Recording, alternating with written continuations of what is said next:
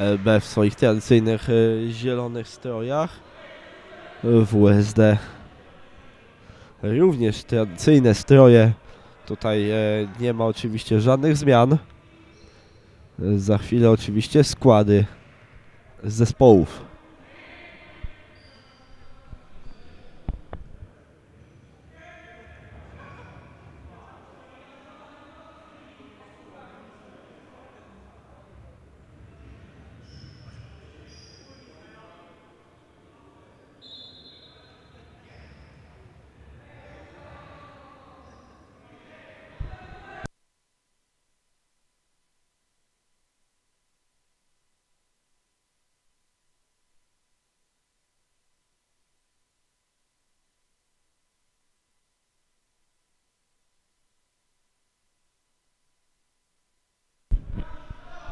Przypomnijmy jeszcze raz e, Państwu, którzy byli nieobecni na początku naszej transmisji, a także e, nie oglądali naszego programu e, na żywo dzisiaj Stalex Liga po godzinach, e, który był e, nadawany przed e, spotkaniami. O tym, że rozlosowaliśmy pary właśnie w tym programie drugiej rundy Pucharu Stalex Ligi LB Unisław Friends Ekopol Akropol Team MDD SPX FT WSG Bydgoszcz Koko Studio.pl WSD Twoja Szkoła Ultimate Team Bydgoszcz Bezimienni Chełmno Grudziądz Team i Unisław Team Chełmza Futsal Team zwycięzca tego spotkania z drużyną Eurodrop Toruń.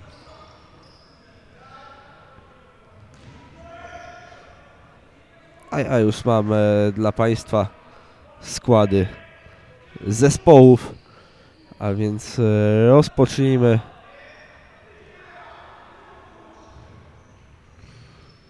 E, tą transmisją właśnie od przedstawienia składu WSD Twojej szkoły Grudziądz. Numer 4 Tomasz Piskorski, 6 Tomasz Grudziński 7 e, Sylwester Wiśniewski 8 Sebastian Fijałkowski, 11 Sebastian Cyjankowski, 13 Patryk Stankiewicz, 17 Łukasz Budziński, 21 Michał Majka, 77 Fabian Chodyna, e, w bramce e, Marek Miller, ale na rezerwie oczywiście jeszcze Michał Miller, no i LB Damian Ciesier, e, Ciecierski z e, trójką, 7 Jacek Jantoń, 8 Piotr Murawski, 10 Mateusz Pieniążek, 18 Marcin Adamczyk, 22 Wojtek Ernest, 26 Jarosław Goral, 29 Łukasz Gefeld. W bramce oczywiście Jakub Pokorski.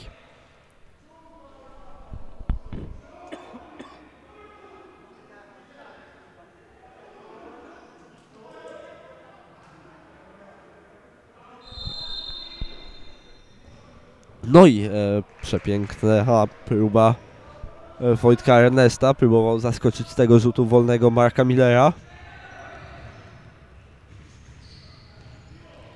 Budziński. Przyjął piłkę e, Murawski. No i łapie futbolówkę Marek Miller. Nie udało się szybko wznowić do Piskorskiego. Teraz właśnie Piskorski przy piłce. Bez faulu. Strzał broni ten strzał Murawskiego. Marek Miller.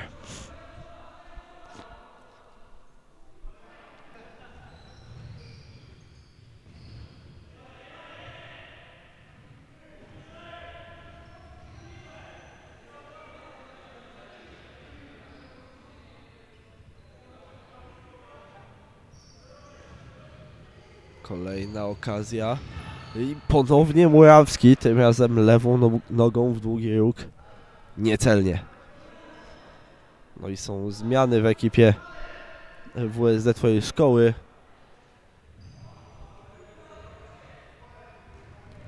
Pojawił się między innymi Tomasz Grudziński, jest Patryk Stankiewicz.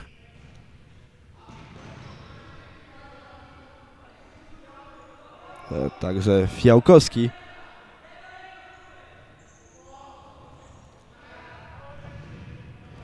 E, Cyjankowski.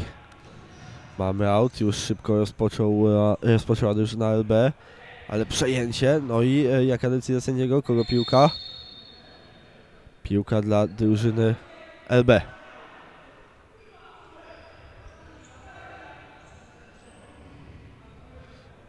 Niedokładnie do Wojtka Ernesta.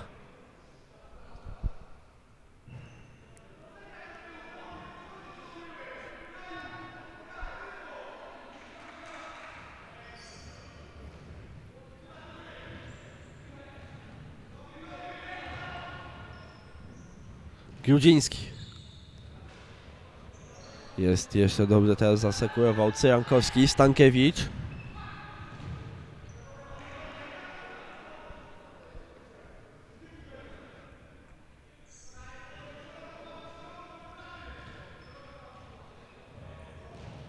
Właśnie teraz e, próbował Wiśniewski zagrywać tą piłkę do przodu, niedokładnie.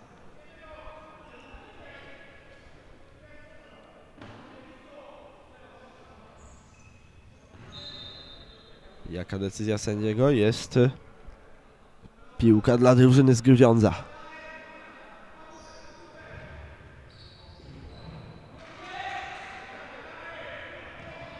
Będzie tutaj e, drużyna z Grudziądza e, próbowała strzelić tą bramkę, chociaż jak na razie więcej tych okazji. Ależ teraz Pokorski, jaka decyzja sędziego? Jest rzut rożny. Drużyna LB jak na razie w większym ataku teraz, oj, oj, oj, e, no gdyby to doszło e, do Radosława Gorala, byłoby tutaj ciekawie.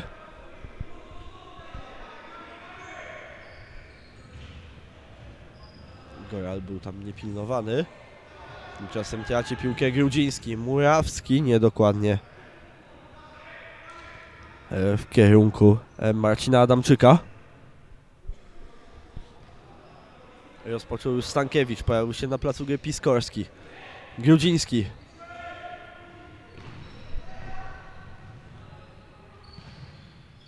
No i teraz ten e, strzał Grudzińskiego bardzo niecelny.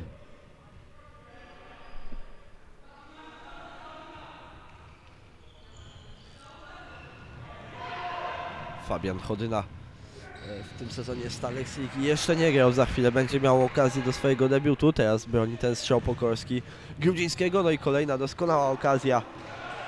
Najpierw Stankiewicz, później Grudziński. W pierwszej sytuacji Pokorski, w drugiej sytuacji strzał niecelny.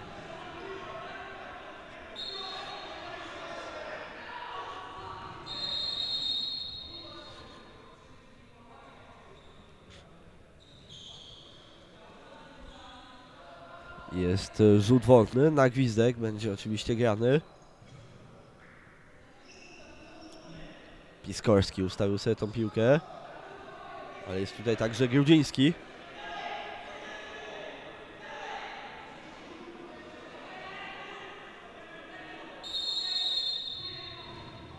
No i źle wykorzystana ta okazja. Była tutaj doskonała okazja do zdobycia tej bramki. Jednak e, no, w trochę dziwny sposób e, zagrana ta piłka. Teraz Piskorski wychodzi z bramki bardzo dobre, że e, Pokorski, no już akcja z drugiej strony boiska. Ciesierski.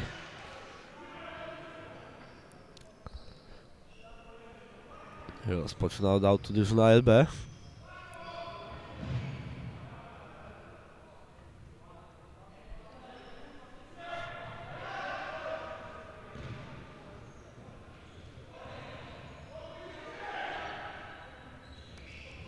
Teraz Stankiewicz dobrze znalazł z przodu. A! Ależ asysta Stankiewicza, a strzelcem bramki Sebastian Fiałkowski.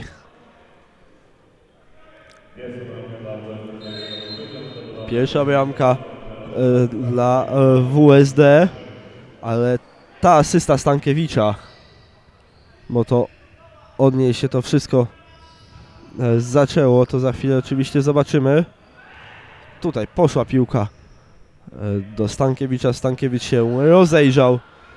Zagrał ładną, długą piłkę do przodu. No i Fiałkowski zdobywa gola. No i teraz Marek Miller.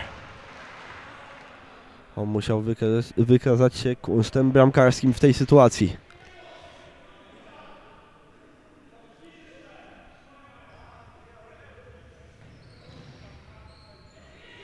Gdzie jest piłka? Mają ją zawodnicy LB.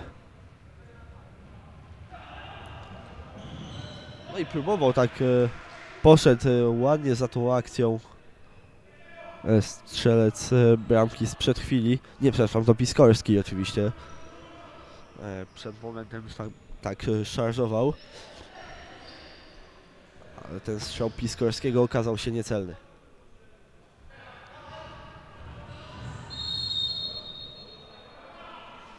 Faulował w tej sytuacji Wiśniewski. Mamy rzut wolny.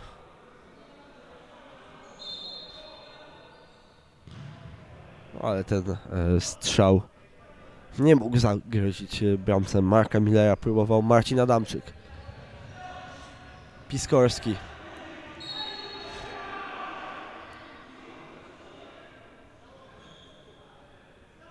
Mamy rzut wolny.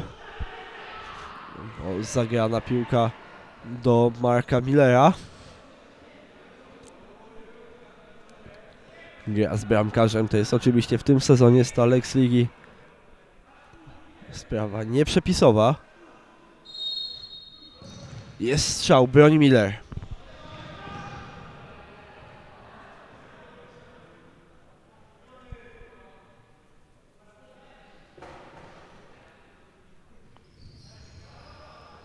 Budziński.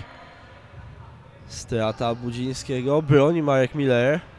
I teraz tak na uwolnienie wybija trochę tą e, futbolówkę Piskorski. 10 minut pierwszej połowy za nami. Okazja, ależ e, fajny, naprawdę fajny strzał. Łukasz Geffel, on próbował zaskoczyć Marka Millera, no i tutaj niewiele brakowało, a to wpadłoby do siatki. Pokazuje się tam z przodu Majka, jednak piłka była zagrana w kierunku Wiśniewskiego, no i teraz po raz kolejny Marek Miller. Marek Miller, doświadczony bramkarz Stalex Ligi. Pokazuje się tutaj naprawdę z bardzo dobrej strony.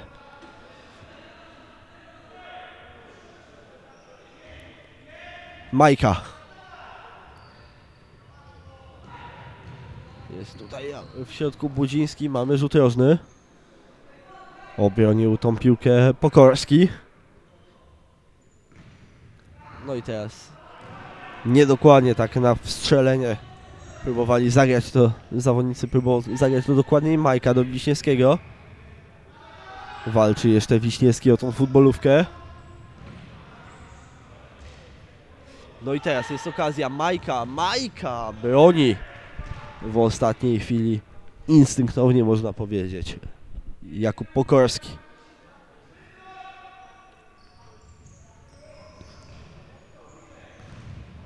Kolejna okazja niewykorzystana.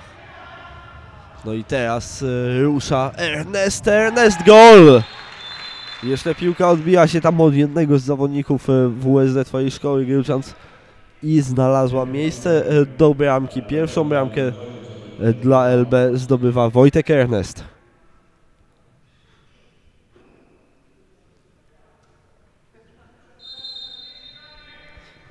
Ładnie uwolnił się Ernest, akcja dwóch na jednego, dopiero tutaj e, wracał jeszcze jeden z zawodników WSD twojej szkoły. No i piłka tak nieszczęśliwie odbiła się od e, nóg. Od ciała jednego z zawodników WSD, że wpadła do bramki.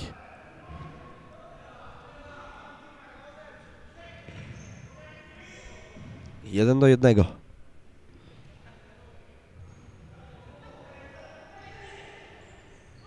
Pokorski. Zagrana ta piłka e, do przodu. Murawski próbował na nogę e, tak zagrać trochę tą piłkę Radka Gorala. Szybko próbował Budziński, niedokładnie. Ernest. Ernest zatrzymany przez e, Budzińskiego i Chodynę. Mamy chwilę przerwy. E, Musi zawiązać buta. Fabian Chodyna, no i już możemy grać. 7 minut do końca pierwszej połowy.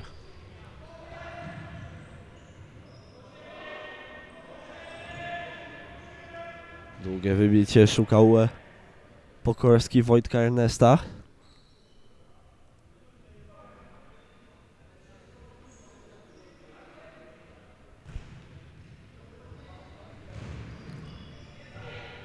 Jeszcze próbuje, no ależ było blisko.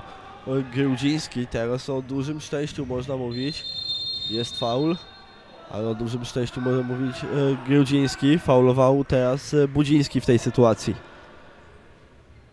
Przepraszam, e, o dużym e, szczęściu oczywiście może mówić Piotrowski, że ta piłka po strzale Grudzińskiego do bramki nie wpadła. Teraz Chodyna. Chodyna lewa noga niecelnie.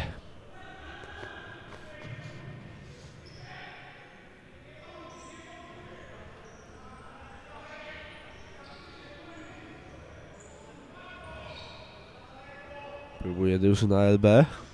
Oni no, mogą tym meczem zyskać wszystko, ponieważ ten mecz, e, tak jak już mówiłem, da im awans.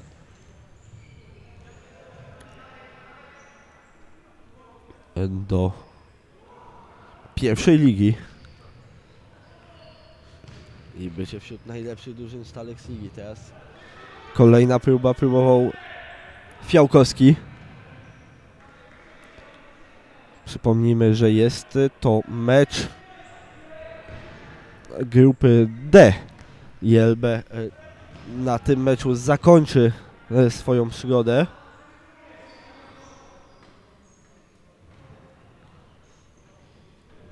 Z rozgrywkami e, na parkiecie e, Stalex Ligi, oczywiście z fazy grupowej. Na drużyna WSD Twojej szkoły jeszcze będzie miała dwa spotkania do rozegrania w tym momencie. Przy takim wyniku 10 punktów LB. No i WSD Twoja szkoła e, ma punktów.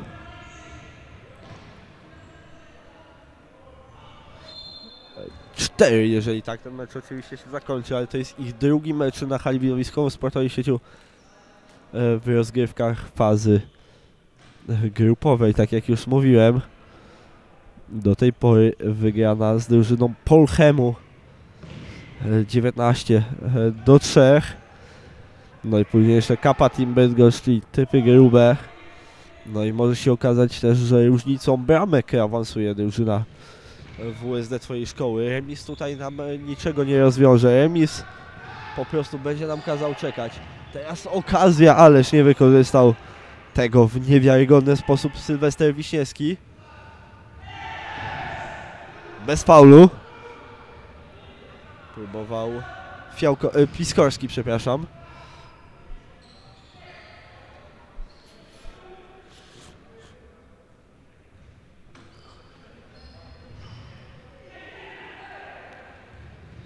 LB no, wygrał z typami grubymi 12 do 5 e, z Polchemem po wielkich mękach 5-4 i z Kappa Team Bydgoszcz 9-3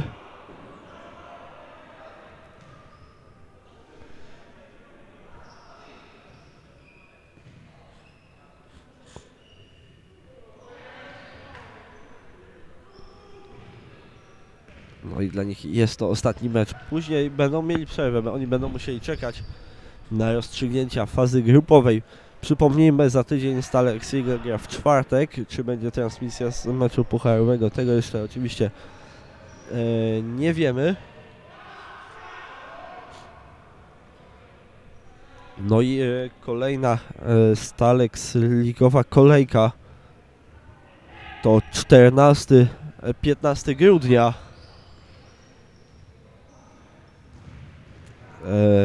No i to będzie ostatnia kolejka fazy grupowej. No i później gramy 21, 22 grudnia, no i 28, 29 grudnia.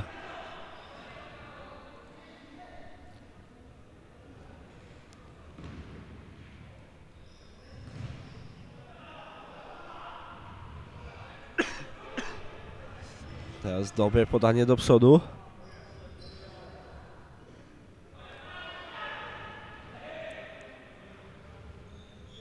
Majka.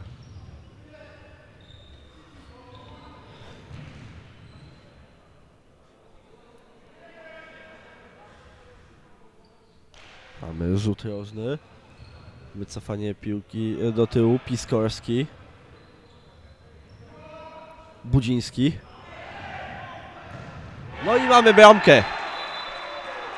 Patryk Stankiewicz. Strzelcem drugiej bramki dla drużyny WSD Twojej szkoły Grudziądz. Asysta Michał Majka.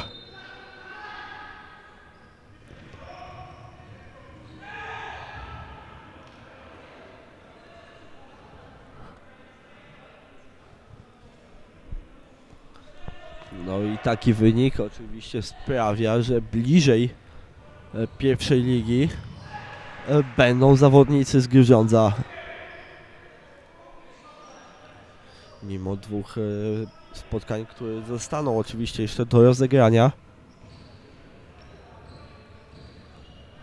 No to będzie tutaj naprawdę już bardzo ciężko. Można powiedzieć tak wyrwać drużynie z Grudziądza.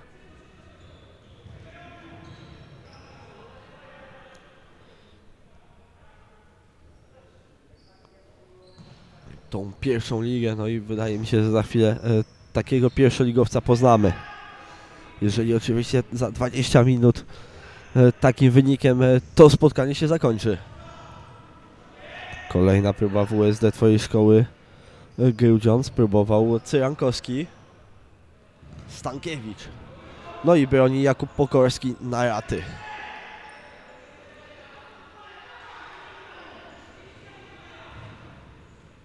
Przejmuje piłkę Budziński. Stankiewicz.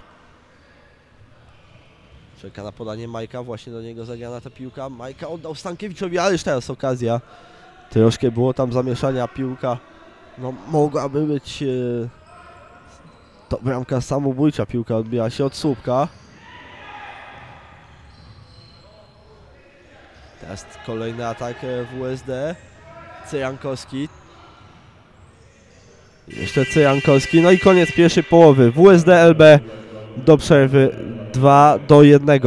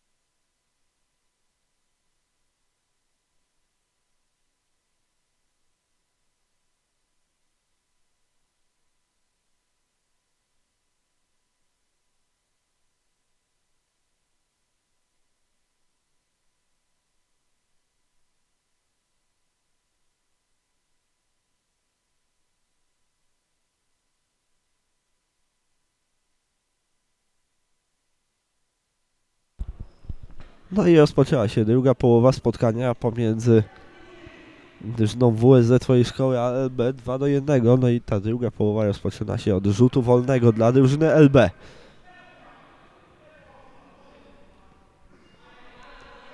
Ustawił sobie tą futbolówkę Murawski.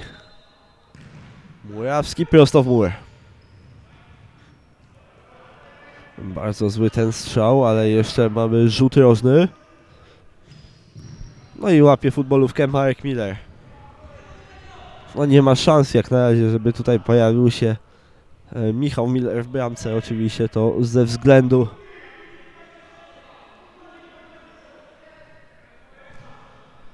na e, wynik. e, No i także brak doświadczenia młodego zawodnika. Jeżeli oczywiście będzie tutaj ten wynik wyższy, różnica kilku bramek, jeżeli na taką różnicę WSD by się udała oczywiście, no to możemy być pewni, że młody goalkeeper się tutaj pojawi. Tymczasem czasem pierwsza okazja w drugiej połowie dla WSD swojej szkoły próbował Piskorski, teraz Majka, ależ gol! To możemy powiedzieć e, wielbłąd w wykonaniu Pokorskiego w tej sytuacji. I Michał Majka strzela tutaj bramkę. Zobaczmy jak do tego doszło. Tutaj pierwszy strzał obroniony. Mieliśmy e, wznowienie piłki z autu. Szybkie wznowienie e, tej piłki z autu. No i strzał z pierwszej piłki Majki. No i co zrobił w tej sytuacji Pokorski? No to wie raczej tylko e, bramkarz drużyny LB. Kolejna okazja, Piskorski na ten strzał. Gdyby nawet y, nie został zablokowany, byłby to strzał niecelny.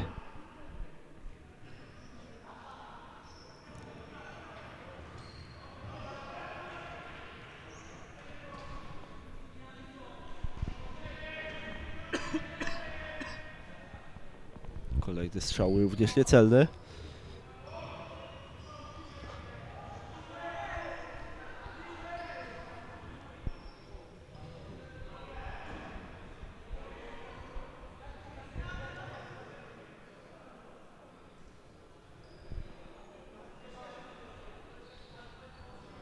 Teraz e, nie zrozumiał się Grudziński z Fiałkowskim. To spowodowało stratę piłki, no już szybko próbuje LB, no ale nie było nikogo w środku, kto wykończyłby tą akcję. No i teraz Grudzińską, trójką ruszają do tej akcji zawodnicy e, WSD twojej szkoły. Mamy rzut rożny ze stałego fragmentu gry e, Wiśniewski, Piskorski. Piskorski gol! Piękna bomba Tomka Piskorskiego.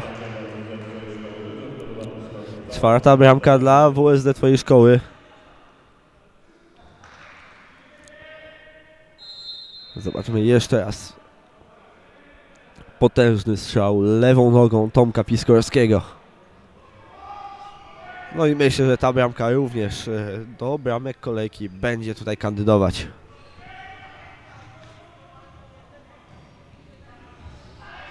Teraz kolejna okazja. Grudziński. Grudziński strzał, broni Pokorski.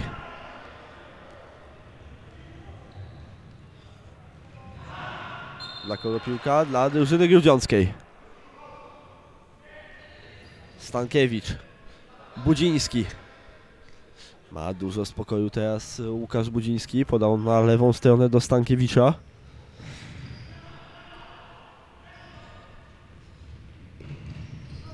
Przypomnijmy Państwu jeszcze raz, e, jutro naszą transmisję rozpoczynamy o godzinie 19 pojedynkiem Eurodruk Nowy Szpital. Grudziński, podanie na lewą stronę do Piskorskiego, Piskorski. No szkoda, że nie sięgnął tej piłki Grudziński, bo mógłby się tutaj pokusić o podwyższenie rezultatu. Teraz Piskorski nie utrzymał piłki w boisku.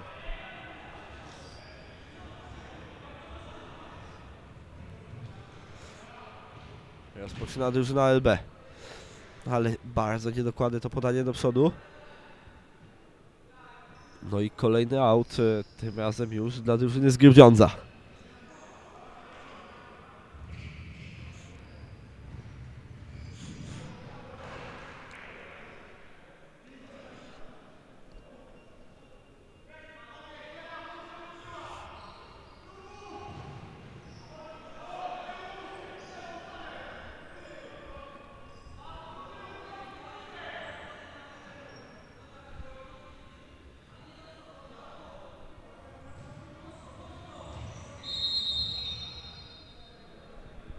Faulowany Murawski.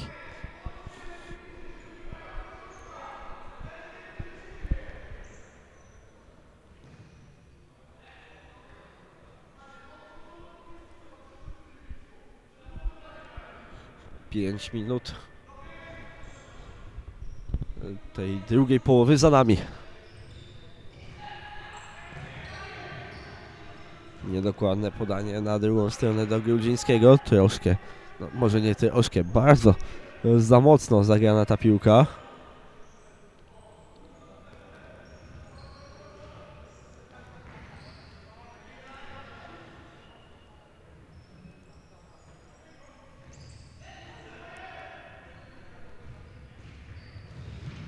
No i kolejna próba niewykorzystana.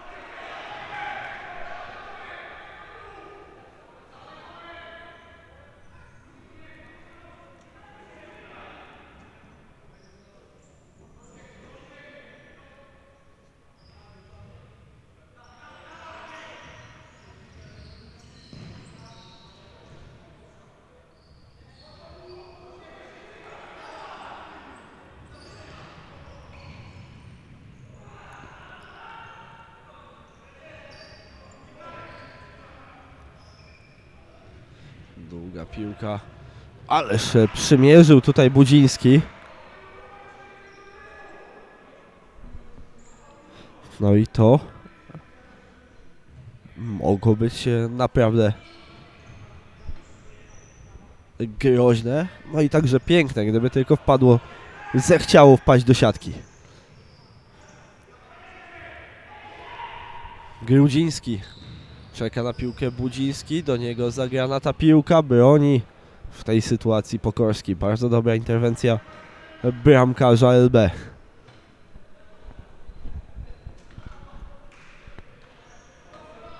Pokorski jest e, oczywiście bardzo jasną postacią, jeżeli chodzi o drużynę e, LB. E, przypominamy, że w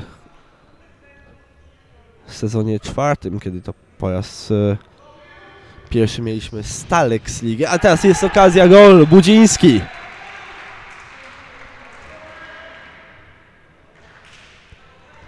Budziński i 5 do 1.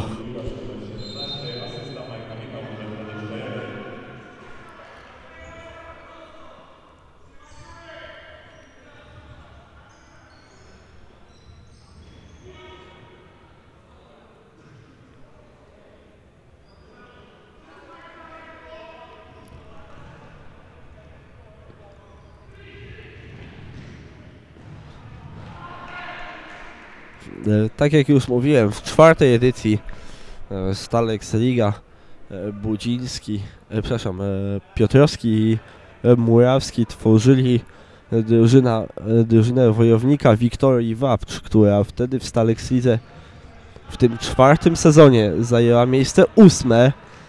No i po sezonie nastąpił rozłam, pojawiła się nowa drużyna, drużyna LB, e,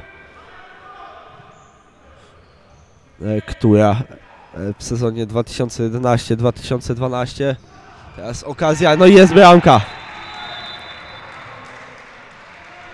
Mamy kolejną bramkę dla WSD Twojej Szkoły Grudziądz, e, Fijałkowski 6 do 1, no i to już jest pogrom. To już jest naprawdę pogrom e, z zawodników z Grudziądza w tej sytuacji, za, którzy zawodnicy z Grudziądza fundują oczywiście e, drużynie LB.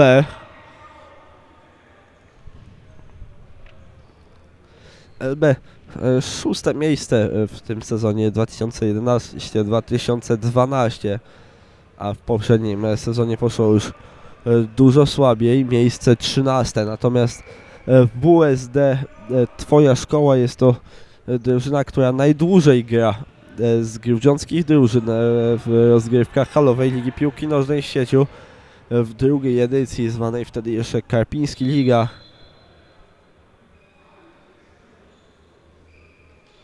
E, Była to drużyna Kasusa.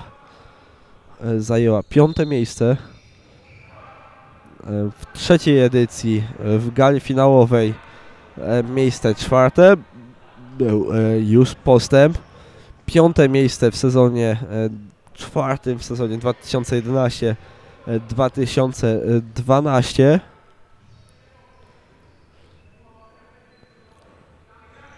w piątej edycji e, Stalex e, Ligi. Również e, piąte miejsce. Odpadli w ćwierćfinałach. No i w poprzednim e, sezonie e, miejsce siódme, najsłabsze w historii ich e, występów w Stalex Lidze. Dlatego też e, wzmocnienia, wzmocnienia z Tankiewiczem i Budzińskim, który grał e, już e, w drużynie Kasusa. ale teraz e, w drużynie WSD twojej szkoły Budziński no będzie tutaj e, jedną z groźniejszych e, postaci. Budziński także e, kiedyś w drużynie wojownika Wapcz. To było w sezonie w trzecim e, w sezonie e, Karpiński Liga.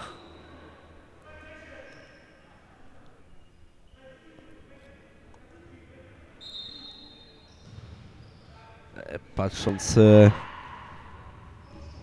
na zawodników, którzy wtedy zdobywali e, nagrody, no to możemy powiedzieć, że w drużynie gwiazd e, Karpiński Liga drugiej edycji był na przykład Michał Majka, wtedy w drużynie PBDIM. W trzeciej edycji występowało również kilku e, za, e, e, zawodników, e, właśnie Budziński w drużynie z Wapcza, e, Wojtek Ernest wtedy w Helvetii MVP e, i Król Strzelców,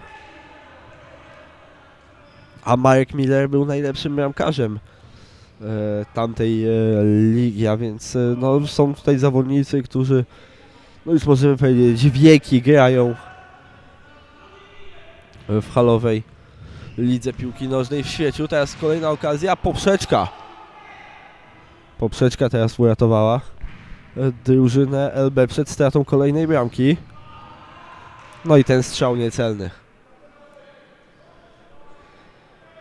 W czwartym sezonie Patryk Stankiewicz e, jako odkrycie sezonu. E, Teraz właśnie zawodnik e, WSZ twojej szkoły Grudziądz. Najlepszym asystentem był Fabian Chodyna.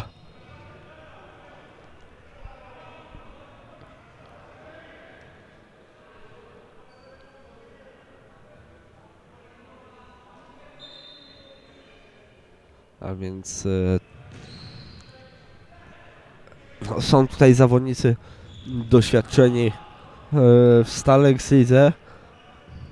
A w poprzednim sezonie nikt z zawodników e, tutaj grających w tym meczu nie zdobył e, żadnej oczywiście nagrody. Grali oni jedynie w rozgrywkach Stalex Ligi. No i o przerwę prosi drużyna LB.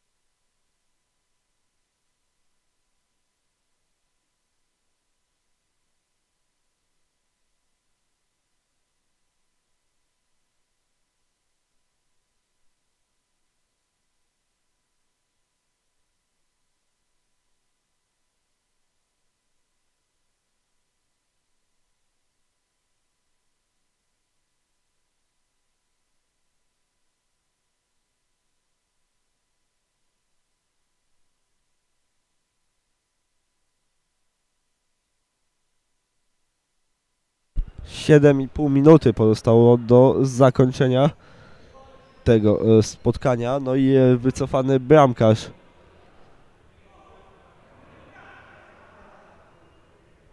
w drużynie LB.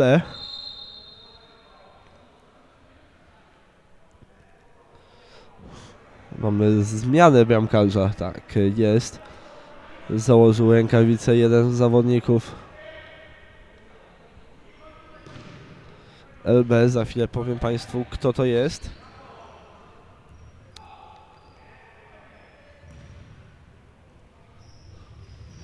Czasem kolejna okazja dla WSD Twojej szkoły. Tomek Grudziński tej sytuacji nie wykorzystał. Murawski, Murawski obok bramki.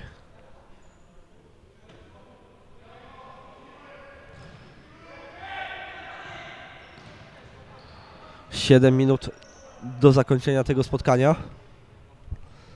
6 do 1. Ten wynik, e, tak jak już e, mówiłem na początku e, tej drugiej połowy, takie zwycięstwo da awans drużynie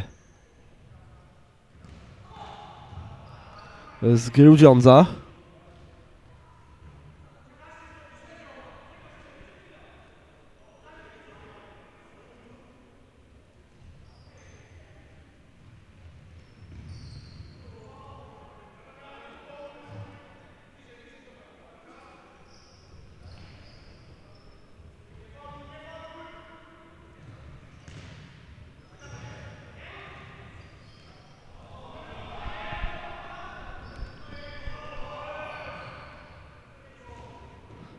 No i ten strzał niecelny.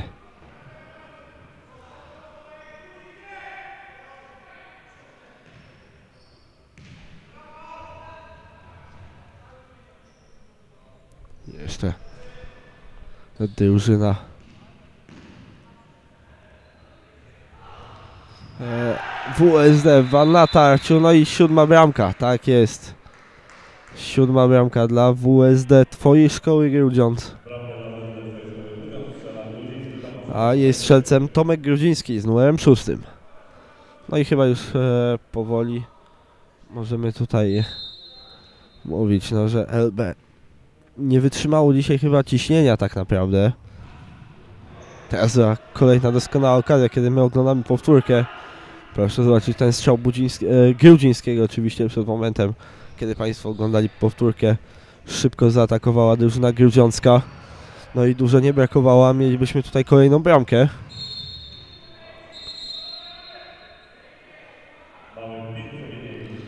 No i mamy e, 5 e, przewijeń na koncie drużyny WSD Twojej szkoły. Na koncie LB. Bez e, przewinienia jak na razie. Bardzo czysto grają zawodnicy LB. No, w tej drugiej połowie oczywiście.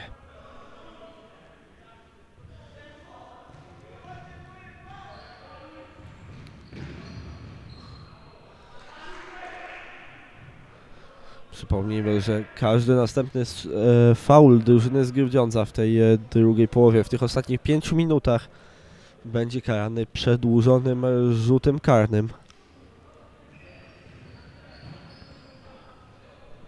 A więc muszą uważać tutaj zawodnicy z Grudziądza. Bo te przedłużone rzuty karne to zawsze niebezpieczeństwo straty bramki, ale próbował Grudziński niecelnie. Murawski.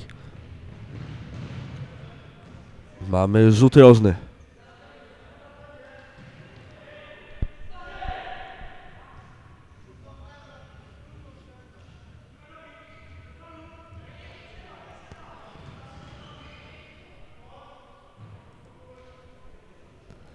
Tym momencie oczywiście w grupie dalej na prowadzeniu drużyna LB, która jednak straci e, ten bilans bramkowy w tym momencie będzie miała tylko 9 bramek.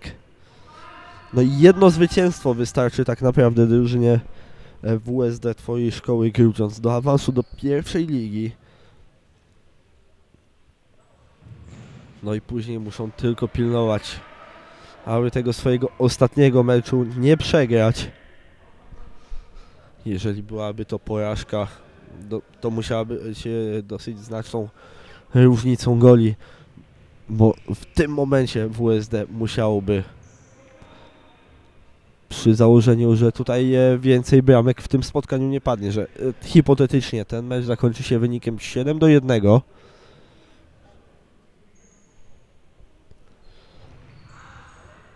I następny mecz e, wygra 1 do 0, to ta różnica bramek będzie e, 22. Ta różnica może być za chwilę 22. No i jest Majka.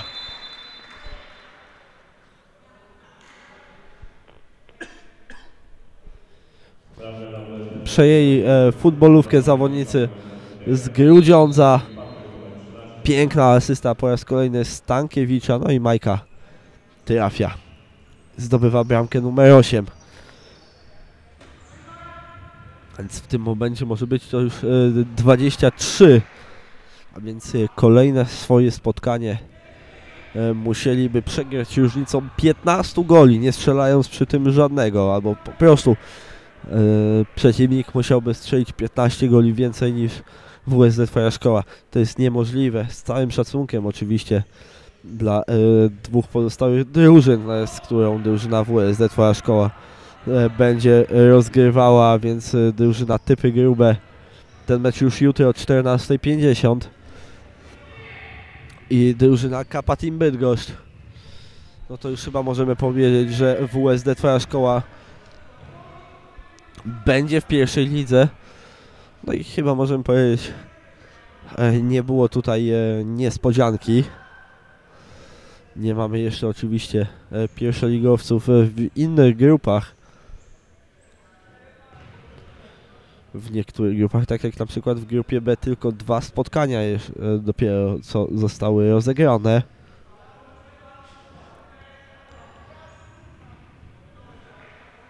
Także jeszcze jeden mecz e, musi zostać rozegrany w grupie C. E, w grupie E także jeszcze trzy drużyny mają po dwa spotkania. No i w grupie F, gdzie no już możemy chyba też powiedzieć, że drużyna z Unisławia bądź Chełmże awansuje do rozgrywek pierwszej ligi. Mecz bezpośredni zdecyduje. No to mogą Państwo sobie w tym momencie no, uświadomić, jak emocjonująca będzie e, właśnie ta pierwsza liga e, w tym sezonie. Będzie, no nie waham się użyć e, tego sformułowania, będzie ona mocniejsza niż w roku poprzednim. Szczególnie, że mamy kolejną bramkę dla drużyny z Grudziądza, a jej strzelcem Stankiewicz.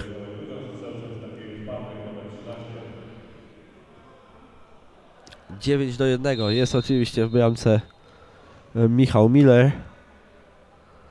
Za chwilę obejrzymy tą bramkę Stankiewicza. Przejął futbolówkę Stankiewicz.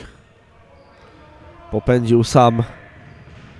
Oddał bardzo mocny strzał, no i zdobył tą dziewiątą bramkę. No i za chwilę możemy być świadkami bramki numer 10. Nie, no jednak łapie e, piłkę goalkeeper e, drużyny LB. 20 sekund, proszę Państwa, do zakończenia tego spotkania. A więc tu już wszystko jest jasne. WSD Twoja szkoła pokonuje LB 9 do 1. Jeszcze. No musimy się chwilę wstrzymać. Jeszcze 15 sekund.